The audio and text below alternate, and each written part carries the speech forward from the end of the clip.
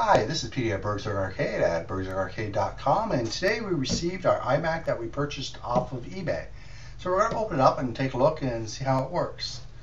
Now you notice I'm in the middle of rearranging everything here. It's a bit of a mess, but I kind of wanted to hurry up and get this opened up before uh, I finished. So let's go ahead. We got the uh, little tiny knife here. We're going to start cutting it open.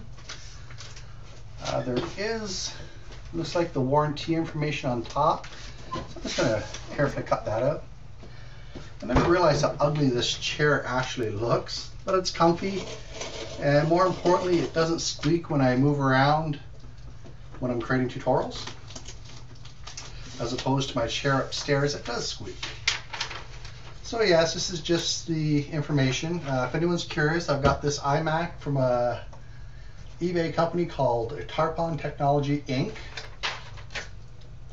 and it's actually an older older uh, iMac. It's a G5, but it is a Core 2 Duo at 1.83 gigahertz, and it comes with two gigs of RAM, which is, I believe, the match for this model. Now it is the white model, the one that was used for educational purposes. But since I'm only going to be using this to run the live stream off of, it should be more than powerful enough for me.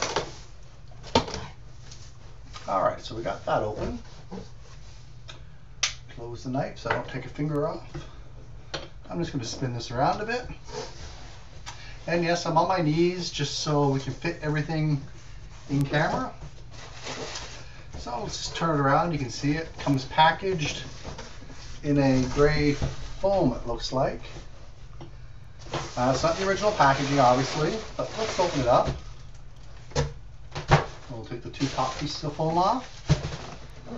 And let's see what's inside. Now I'm pretty sure it doesn't actually come with an operating system installed, but that's fine because I've got an extra copy of Snow Leopard and I'm going to try to put that on. Worst case scenario, I have an older copy of Tiger that I'm not using anymore and I'll just use that. So we'll open it up. Uh, here we have the keyboard and the mouse. I'm just going to rip that open. It's the older style keyboard. It's pretty heavy. I've never actually used the older style keyboards. And it's heavier than I thought it would be. Uh, it's clean, so that's good. USB, so we'll just set that to the side.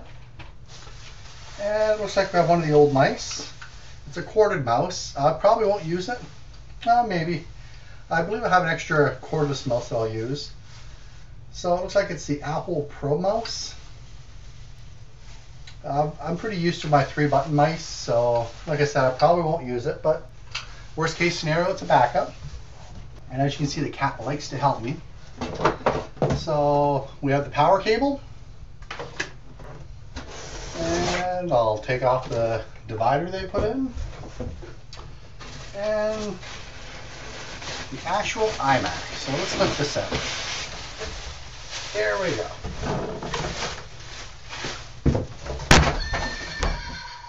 And I just hit my son's little giddy up horse and well, away it goes. So we'll unpack it. Lots of styrofoam. And I guess I shouldn't throw things to that side since the horse is there. You can probably hear that.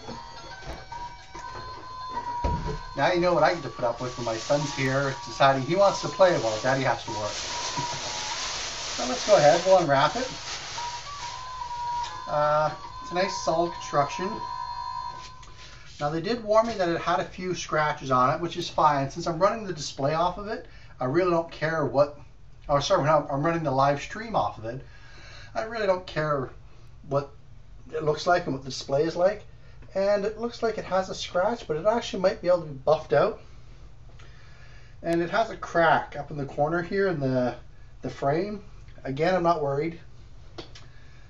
But let's go ahead and plug this in and we'll see if it works. Alright, so I've got it plugged in. Uh, I'm using the keyboard and the mouse that came with it. And it's all plugged in and ready to go, so I'm going to fire it up. Now I'm just hanging on to the webcam, uh, so pardon me if my hands are a little shaky as I haven't had my just got home coffee yet. so it looks like it's booting up.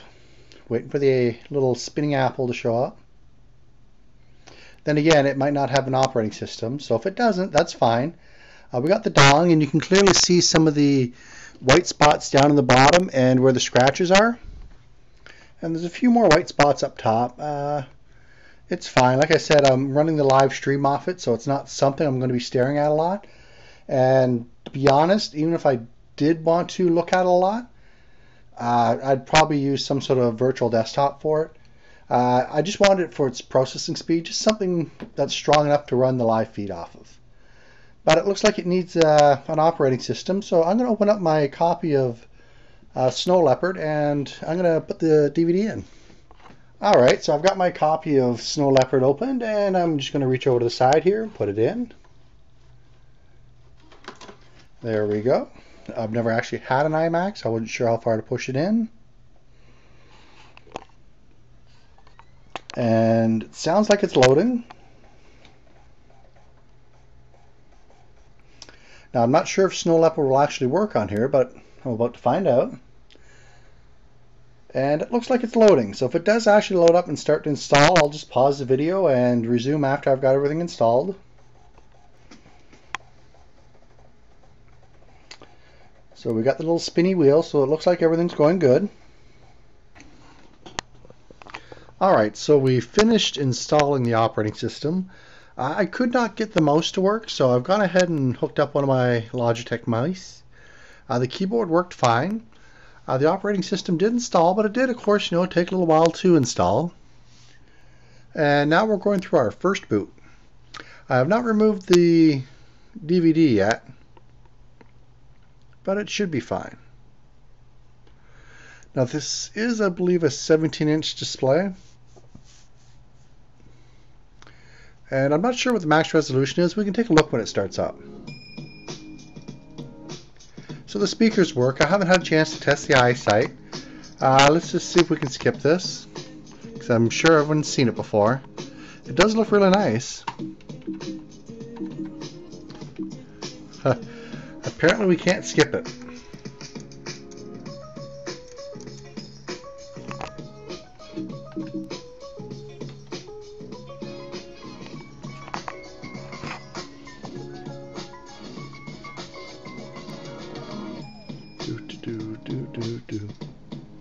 All right, I'm going to go ahead and fill out the information and I'll be right back.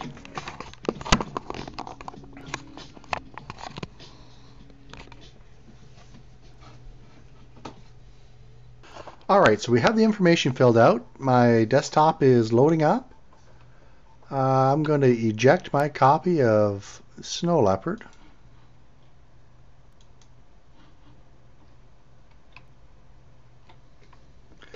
So the eject key on the keyboard does work.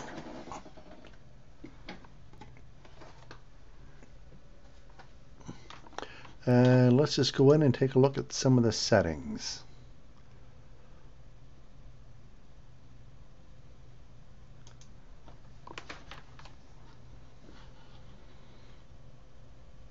So there is 2 gigs of RAM. The process speed is 1.83 gigahertz. Uh, take a little bit more look. Uh, I know the hard drive is 160 gigs. Uh, it does have Wi-Fi. Uh, what speed was the RAM? 667. But I'm going to go ahead and load up all the software I need to run the live stream off of here, and I'm going to give it a test.